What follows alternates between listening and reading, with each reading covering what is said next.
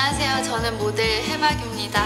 어, 저는 전 세계를 무대로 활동하는 패션 모델이고요. 또한 유기견 보호를 위해서 동물보호연대 활동을 열심히 하고 있습니다.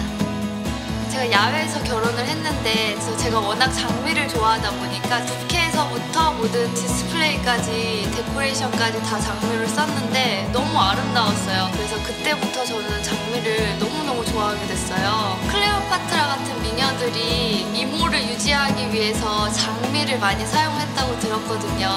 프레쉬 로즈 라인에는 천연 장미가 많이 함유가 되어 있다는 거를 많은 분들이 아실 거예요. 그래서 저도 아침에 매일 샤워를 하기 전에 프레쉬 로즈 마스크를 한 10분에서 15분 정도 바르고 씻어내면은 정말 제 피부가 아침에 더욱더 좋아진다는 걸 느끼거든요.